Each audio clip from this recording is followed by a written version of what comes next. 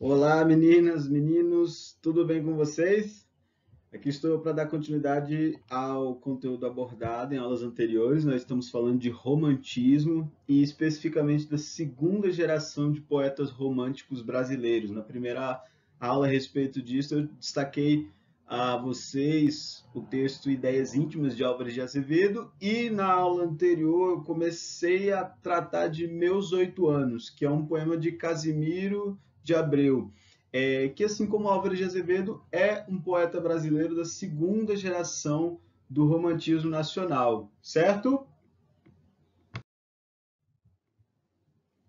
É importante destacar, meninas e meninos, que essa segunda geração recebe o nome de geração ultrarromântica. Ela comporta artistas da chamada fase ultrarromântica é, do romantismo aqui no Brasil, ok? E ultrarromântica por quê, Gustavo? Porque se havia já uh, uma tendência à expressão uh, bem elaborada de sentimentos dos autores da primeira geração, essa tendência se torna ainda mais nítida a partir da segunda geração de artistas românticos. Então, por isso, ultra-romantismo, ok? Algumas das tendências, e isso é só uma revisão do que já foi abordado anteriormente, algumas das tendências, então, da segunda geração de poetas românticos brasileiros são essas: pessimismo, saudosismo, morbidez e eroticidade. Eu já expliquei uh, o significado dessas tendências que se percebem em praticamente todas as obras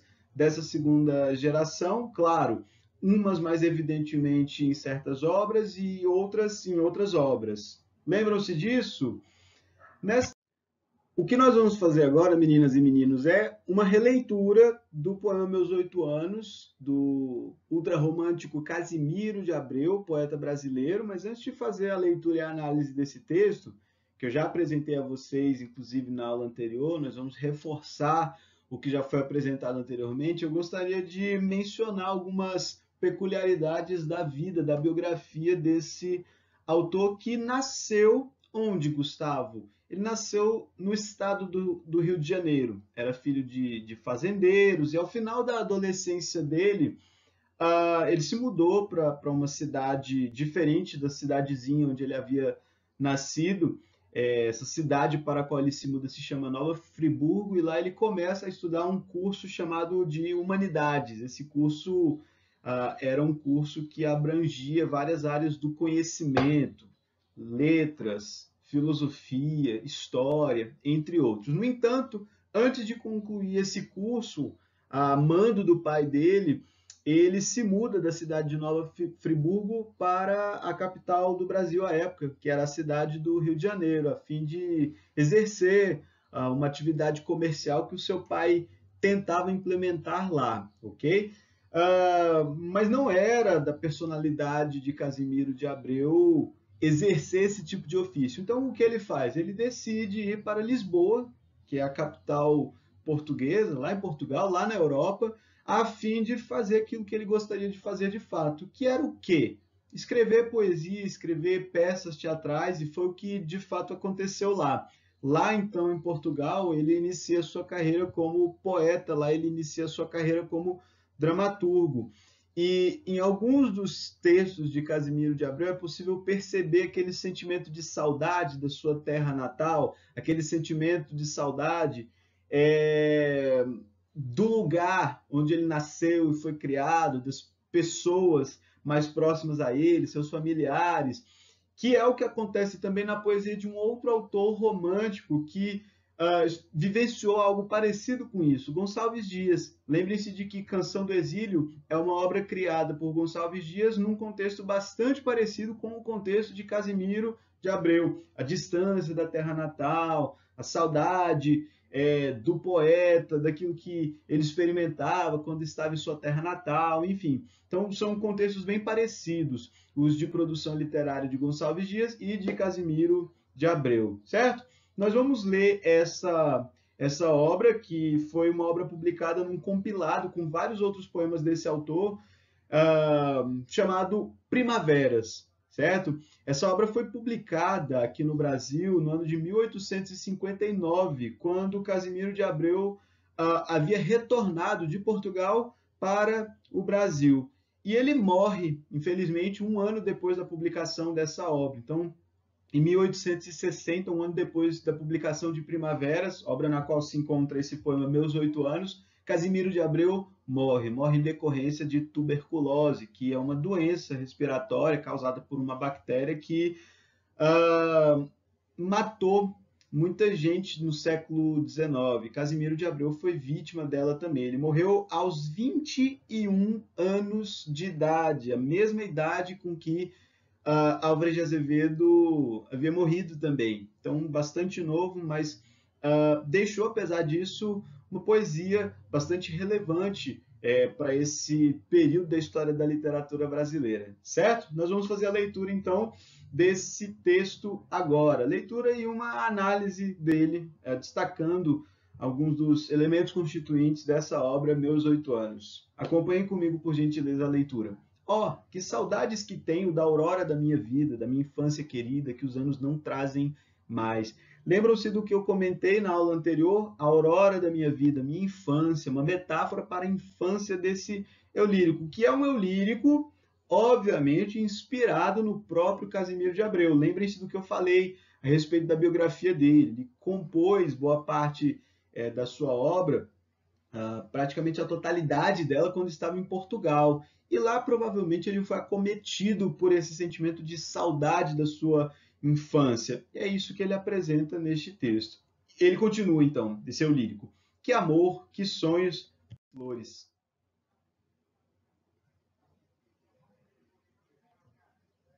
Naquelas tardes fagueiras, à sombra das bananeiras, debaixo dos laranjais, percebam que esse lírico cria um cenário para esse lugar idealizado que ele expressa. Provavelmente seu lírico se inspira no lugar em que o próprio autor Casimiro de Abreu nasceu e foi criado. Lembrem-se de que eu falei que Casimiro de Abreu uh, era filho de fazendeiros e que durante boa parte da vida dele ele cresceu no ambiente rural. Então é isso que ele utiliza como matéria-prima para fazer o, o, o, seu poema, ok?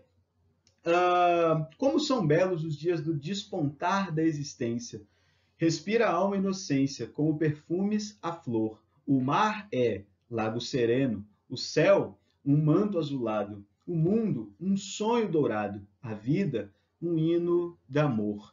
Prestem atenção à forma como ele descreve esse cenário do lugar idealizado do qual ele sente falta. Isso vai ser importante para vocês fazerem um exercício daqui a pouquinho.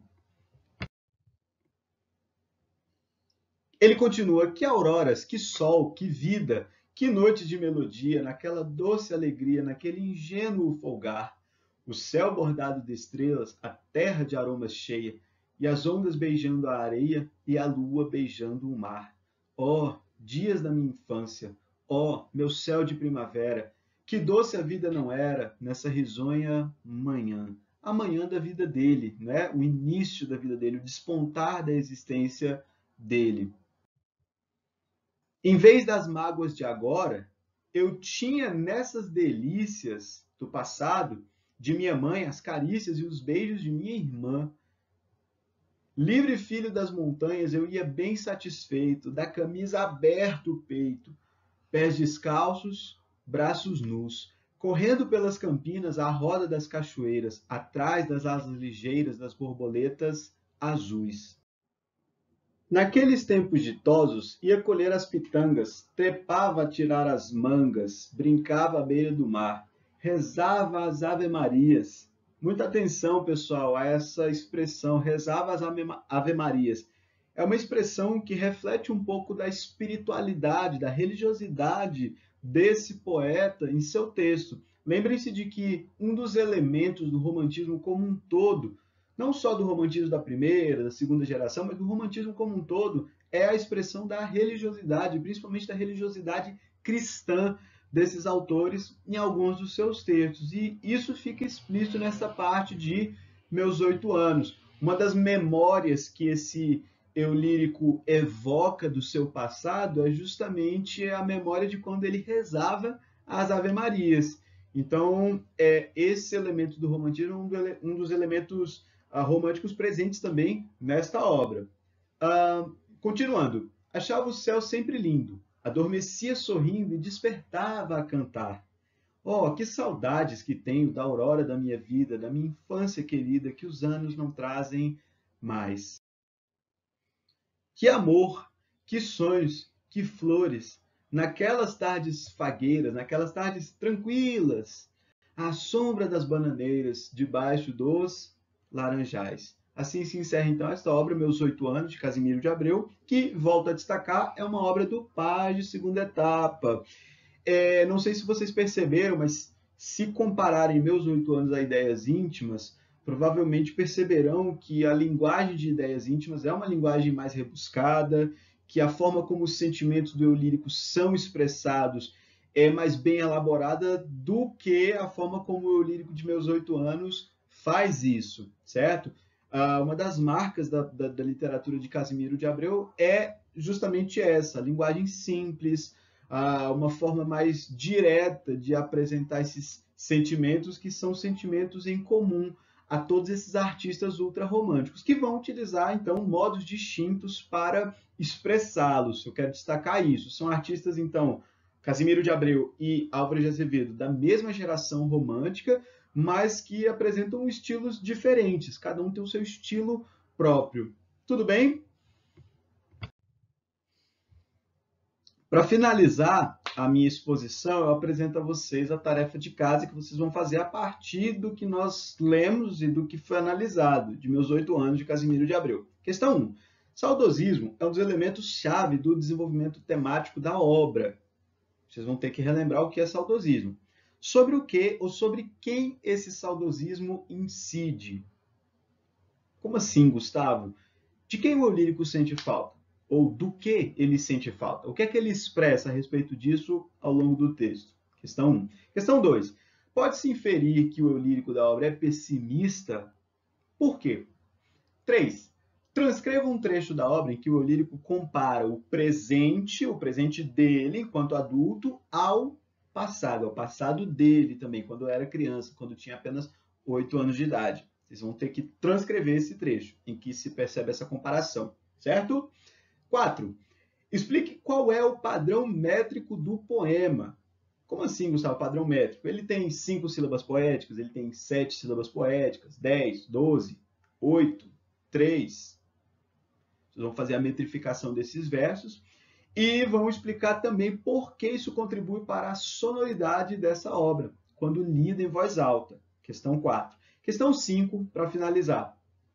Faça um desenho, de preferência a cores, retratando a vida idealizada do eu lírico da obra. Então vocês vão destacar alguns dos cenários, algumas das memórias que o eu lírico constrói ao longo do poema e vão, a partir desse destaque, elaborar um desenho. Tudo bem? Em seguida, compare esse desenho que foi feito inspirado em ideias íntimas. Vocês vão comparar dois desenhos feitos por vocês à base dessas duas obras. E a pergunta final é: em que esses desenhos se distinguem? E em que eles se assemelham?